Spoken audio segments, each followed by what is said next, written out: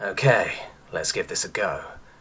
My first time writing HFY, so be nice. Hey, at least it's OC, right? As it happened, it was the Kalu Kamsku who encountered humans first, and being the Kalu Kamsku, they immediately attacked. That was unwise. Our galaxy is a big place and has only a handful of sentient species capable of interstellar flight. Yes, yes, foremost of whom are we, the Armia. As it turned out, unknown to anyone else, the humans had quietly been building a small domain for themselves in one remote and largely unremarkable corner of the galaxy. Nothing major, just a few dozen colonies in the systems closest to their home star. But the important thing is, they had no idea the Kalukumsku existed, or any other sentient species for that matter. One would think, therefore, that in a first encounter between a species as aggressive, well, ag aggressive is the wrong word, say, uncompromising, as the Kalukamsku and humans, a relatively primitive race who moreover had no idea the Kalukamsku existed, and certainly had no experience in dealing with them, that the humans would come off worse. This was not the case. Why? I'm explaining why, impatient fledgling. Now pay attention because here is the history lesson, and a valuable lesson it is. A Kalukamsku armed recon team found a small human settlement on a world that had been marked for economic exploitation by their coordinator, which passes for their government. The settlement had not been there long, a few years, a decade at most, put up after the initial survey was conducted. As I said, the Kalukamsku are uncompromising. Finding buildings where there were supposed to be none, they immediately set about burning them to the ground. It's entirely possible that they didn't realize that there were structures were made and inhabited by sentients. Semi-telepathic species are often like that. In the case of the Kalukamsku, thoughts can be transmitted by pheromones. Not good with theory of mind, since they already know the thoughts of other members of their species, and therefore have no need to extrapolate. Thus, they aren't very good at recognizing sentience in alien species. I digress. I was saying that they burned the human settlement to the ground. Well, they tried to at least, but they didn't get very far. Fortunately for scholars everywhere, a Kalukamsku AR team has helmet mounted recording equipment backed up to their ship's black box in real time. That, combined with the human accounts, gives us a fairly reliable account of what happened. The ART leader went up to the first building and, ignoring the unidentified creature, humans, running away from it, began to torch it with his arm mounted flamer, making short work of it. The next building was slightly larger, two stories instead of one, but the Kalukamsku are big.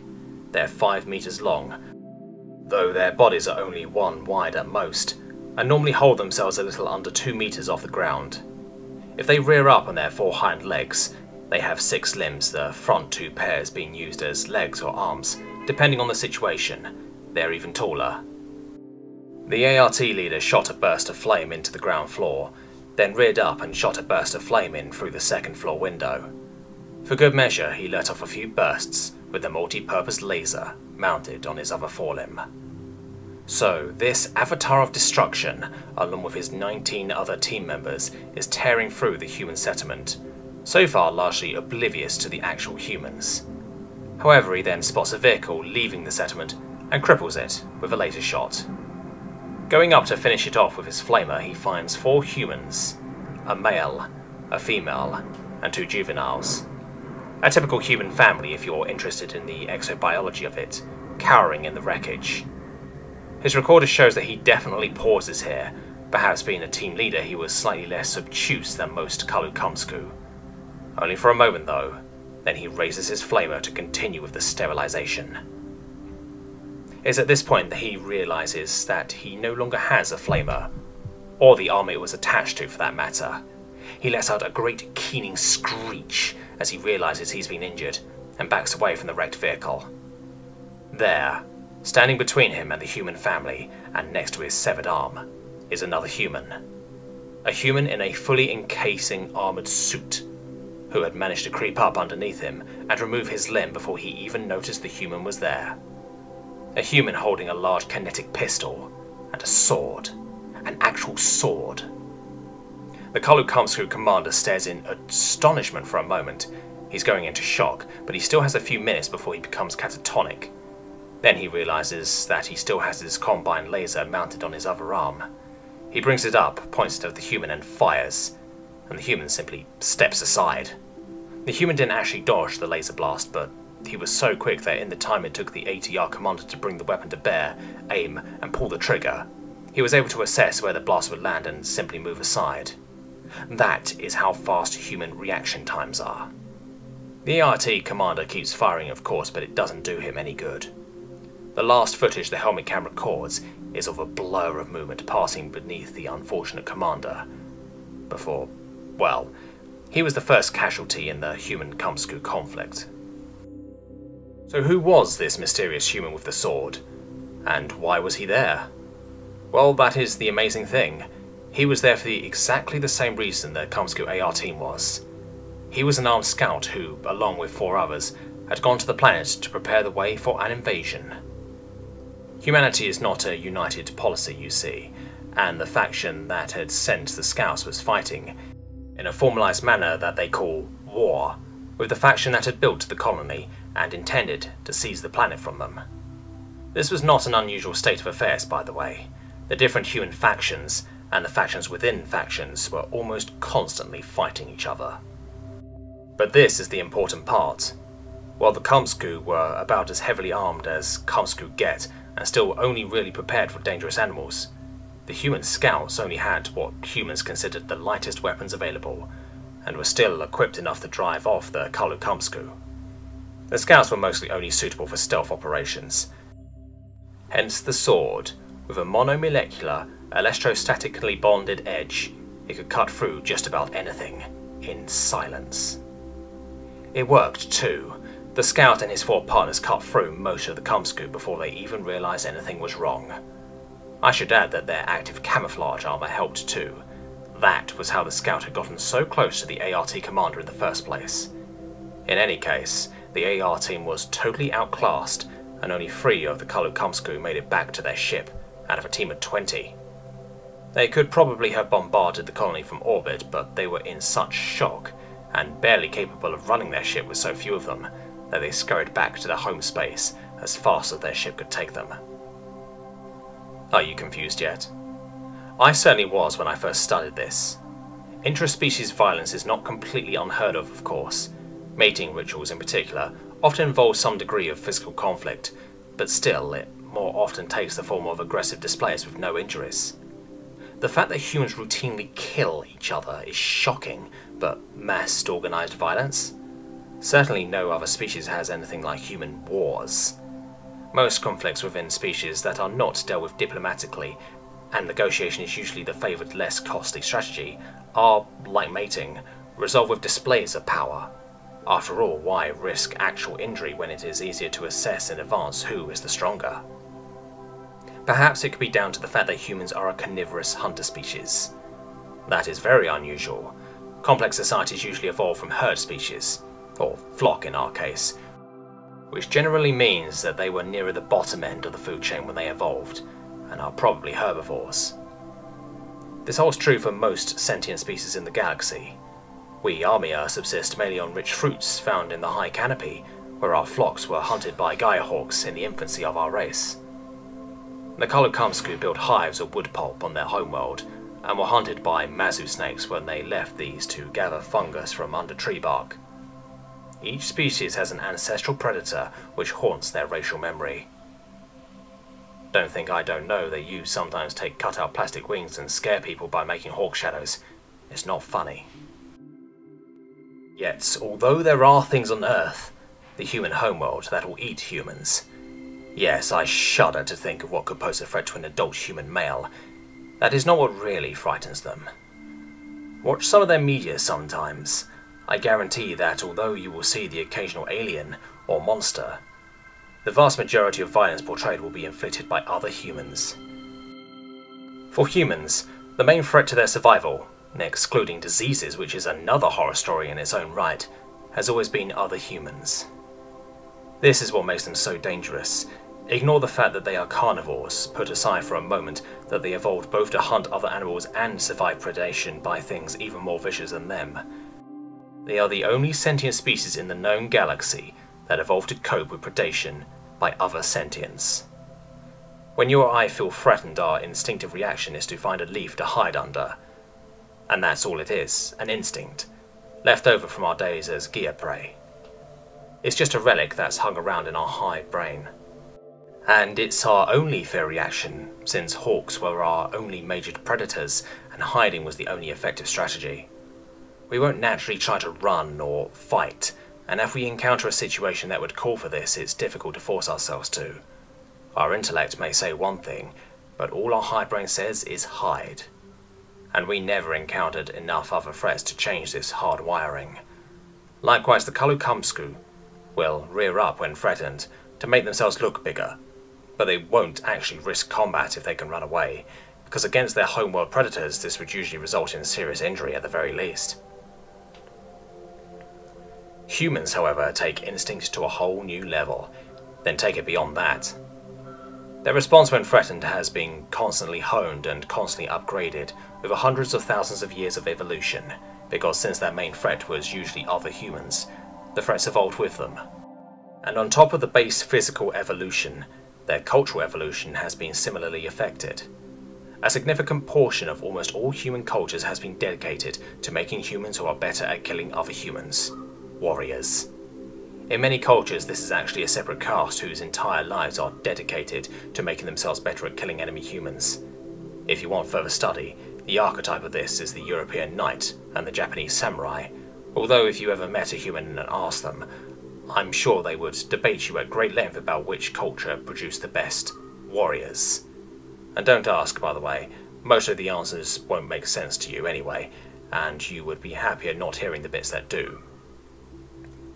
Humanity evolved while engaging in a constant arms race. Imagine if, when we first developed hawk nets, the hawks had come up with a means to cut through them, then mashed every other solution we came up with. Not a pretty thought, is it? Yet this is normal for humanity, and it produced a species that is incredibly fast, incredibly tough.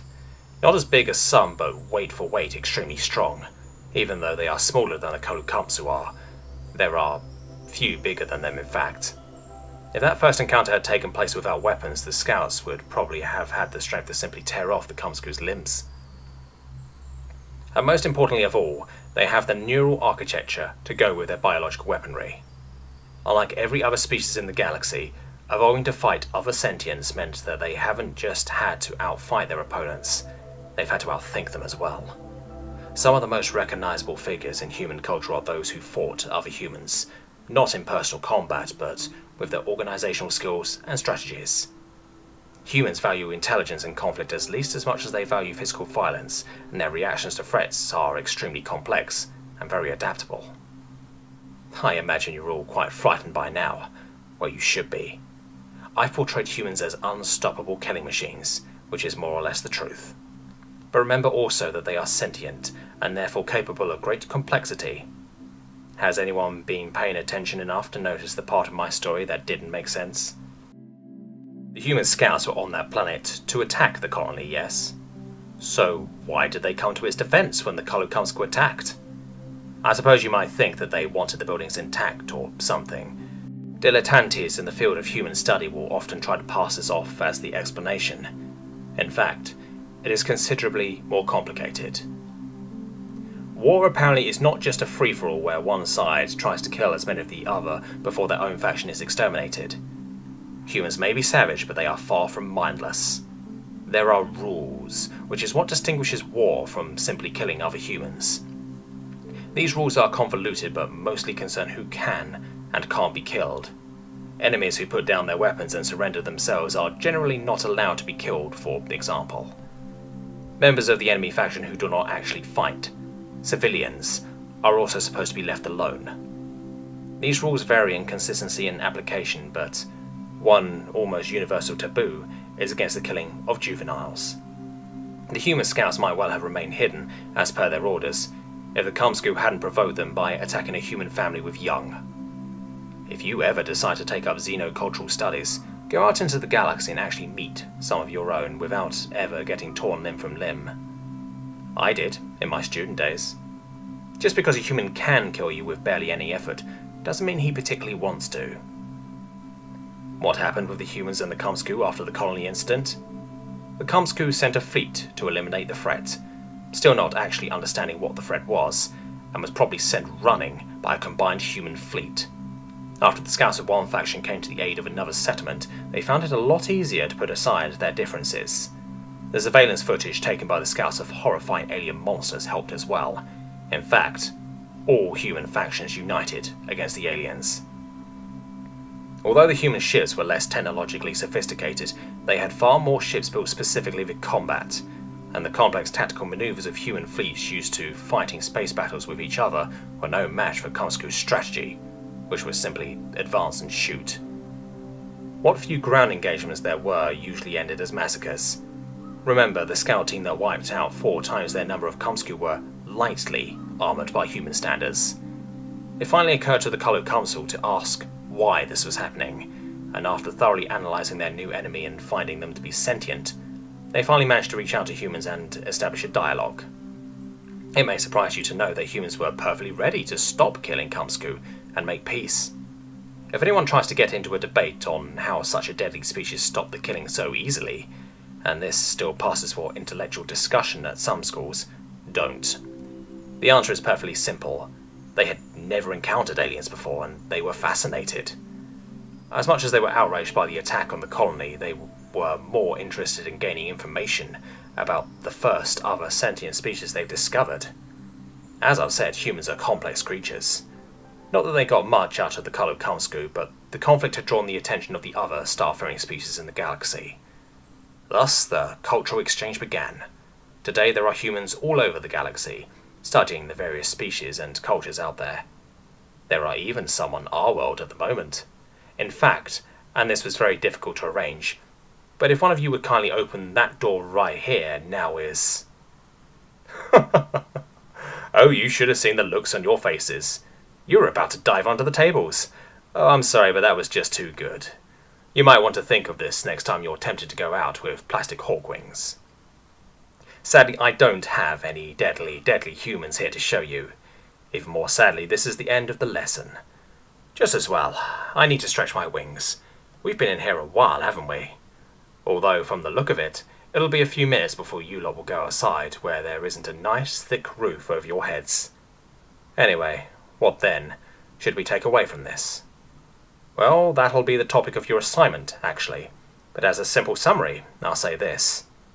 Never ever get into a conflict with humans, and if you absolutely can't avoid it, then for goodness sake get other humans to do the actual fighting for you. It's what they were made for, after all.